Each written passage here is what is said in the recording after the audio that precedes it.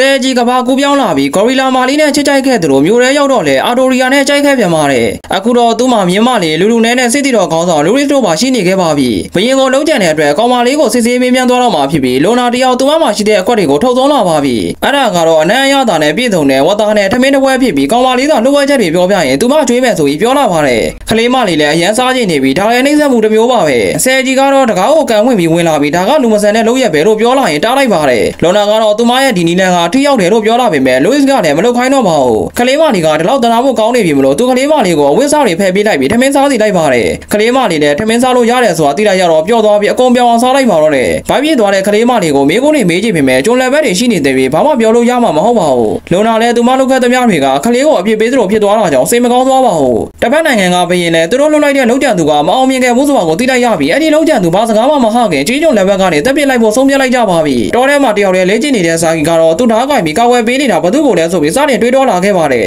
သူဒီတိုင်းပြည်ကပြည်သူတွေကိုကာဝယ်ပေးခြင်းပေမဲ့ဒီတိုင်းပြည်ရဲ့ဘရင်ကိုတော့မကာဝယ်ပေးခြင်းပါဘူးလွန်ခဲ့တဲ့ညကဇာကီတယောက်ဘရင်ကိုလုံးကြံဖို့လာတဲ့တရားခံနောက်ကိုလိုက်ရင်လမ်းတော်မှာတရားခံကမျက်နှာပြလာခဲ့ပါတယ်သူကအများသမားဖြစ်ပြီးဘရင်ကိုလုံးကြံဖို့အနည်းနဲ့လာလာစူးစမ်းခဲ့ရတာပါဒီနိုင်ငံကတားရတစ်ပိုင်းလူတစ်ပိုင်းမျိုးတွေကိုမိစားတွေလိုဆက်ဆံကြပြီးသူစနီးတဲ့ကလည်းစစ်တဲ့တွေလက်ထဲမှာတက်တာကိုခံခဲ့ရပါတယ်အဲ့ဒီထဲကသူတို့တိုင်းပြည်ကမကောင်းမှုဆိုတာကိုသူနားလည်သွားခဲ့ပြီးအရာအလုံးကိုချုပ်ကိုင်နေတဲ့ဘရင်ကိုလုံးကြံဖို့ဆုံးဖြတ်လိုက်ပါတော့တယ်ဇာကီကိုပြောနေရင်များနေတယ်ပြည့်နေပြီးဇာကီကတော့နိုင်ငံအစစ်စစ်တီတော်ဖြစ်တာလို့အများတွေကသူ့ကိုဒုက္ခမရောက်စေပေမဲ့တစ်ချက်တစ်ချက်တော့ထိသွားရပါသေးတယ်။မြောင်မိုးရွာလာချိန်မှာတော့ဇာကီလည်းအကောက်ကွယ်မော်ကိုဖွင့်လိုက်ပြီးတစ်ဖက်လူရဲ့တိုက်ခိုက်မှုတွေအကုန်လုံးကိုကာထားလိုက်ပါတော့တယ်။တစ်ဖက်ကသူလည်းသူဆက်ကြလည်းမနိုင်တော့မှသိနေတာမလို့ထွက်ပြေးသွားပြီးဇာကီလည်းဆက်မလိုက်တော့ပါဘူး။ဒီလိုနဲ့ဇာကီတယောက်လည်းအတိုက်ဝဲပြီးကြတဲ့ကဒီပီရဲ့ခွန်းဆက်မလုပ်ချင်တော့ပါဘူး။တစ်ဖက်မှာတော့ဆဲကြီးတယောက်ကလေးမလေးရဲ့ကြီးကျုံလက်ဘက်ကိုဖြုတ်ပေးဖို့ဆုံးဖြတ်ထားပြီးသူ့ရဲ့မော်နဲ့ထပ်ကြိုးစားနေပါသေးတယ်။တခြားသူတွေလည်းရပါမလားဆိုပြီးစောင့်ကြည့်နေကြပြီးဆဲကြီးတယောက်လွတ်လပ်မှုကိုဖန်တီးနိုင်တဲ့မော်ပညာကိုအလိုရှိနေခဲ့ပါတယ်။သူ့စိတ်ထဲမှာလွတ်လပ်မှုကိုရည်ရွယ်နေမိပြီးအရင်တစ်ခါကချိန်သာဖဲတဲ့ညီကိုစမ်းကြည့်ပေမဲ့အလုံးမဖြစ်ပါဘူး။ကျွန်းလက်ဘက်ကနေလွတ်လပ်သွားအောင်စဉ်းစားနေရင်ပါပဲလွတ်လပ်မှုကိုဖော်ဆောင်တဲ့သမ္မတတယောက်အကြောင်းကိုစဉ်းစားမိသွားတာမလို့စစ်စတန်ကအတီးမြူဝေးလာပြီးအဲ့သမ္မတနာမည်နဲ့မော်စွမ်းတစ်ခုရသွားပြီးကျွန်းလက်ဘက်ကိုဖယ်လိုက်နိုင်ပါပြီ။ပုံမှန်ဆိုကျွန်းလက်ဘက်ကိုသူ့ရဲ့တခင်ကိုယ်တိုင်ဖယ်ပြီးမှသာဖယ်လို့ရပေမဲ့ဆယ်ကြီးကြောင်ခလေးမလေးလွတ်လပ်သွားခဲ့ပါပြီ။စကားပြောလို့ရပြီဖြစ်တဲ့ခလေးမလေးနဲ့သူမရဲ့ဘဝကိုပြပြလာခဲ့ပြီးသူမငငယ်ကလေးကသူမတို့မျိုးနွယ်စုတွေအဖမ်းခံခဲ့ရပြီးတဲ့နောက်မှာဒုက္ခရောက်ခဲ့ပြီးတခြားသူတွေစီမှာကြုံဖြစ်ရောင်းစားခံခဲ့ရပါတယ်။ခလေးရွယ်သူတို့ကိုတော့တိုက်ခိုက်နည်းတွေတင်ပေးပြီးလူပေါင်းများစွာကိုလုံးချတက်ပြတ်ခိုင်းခဲ့ပါတယ်။သူမရဲ့လက်မှာသွေးစိုးနေပြီမလို့သူမကခွင့်လင်းမှုနဲ့မထိုက်တန်ဘူးလို့ထင်နေပါတော့တယ်။ကလေးမလေးနာမည်ကအိုလီဂါဖြစ်ပြီးဘဲမနဲ့သွားစရာမရှိတာကြောင့်ဆယ်ကြီးကသူတို့နဲ့အတူတူနေဖို့ဖိတ်ခေါ်ခဲ့ပြီးဆယ်ရီယာကလည်းနွေးနွေးတွေးတွေးကြိုးဆိုပေးခဲ့ပါတယ်။ဆယ်ကြီးတယောက်မော်ပညာကိုထိန်းနိုင်ဖို့တင်ယူခဲ့ရပြီးရလက်တွေကလည်းတဖြည်းဖြည်းနဲ့ကောင်းလာနေခဲ့ပါပြီ။သူ့ရဲ့ဆွမ်းကအပြင်းလုံးတာကြောင့်အရင်တစ်ခါကဆိုရေတွေကြီးသွားခဲ့ပြီးအခုတော့အဆင်ပြေနေပါပြီ။လူဝိဇိုတွေနယ်ဆက်ဒေသကိုတောင်းဖို့ဖြစ်လာခဲ့ပြီးနယ်ဆက်ဒေသမှာမိစ္ဆာတွေများပြားလာကြောင်းတွားထိန်ဖို့ထွက်သွားရမှာဖြစ်ပြီးဘရင်ကိုစောင့်ရှောက်ဖို့အတွက်ကတော့ဆယ်ကြီးကိုတော့အနက်ထားလိုက်ပါတော့တယ်။ဒီပိုင်းလေးအောင်ဒီမှာပြီးဆုံးသွားပါပြီဗျ။နောက်ပိုင်းနဲ့အတူတူပြန်လာခဲ့ပါမယ်။ကြည့်ရှုအားပေးခဲ့တဲ့အတွက်အားလုံးကိုကျေးဇူးတင်ပါတယ်။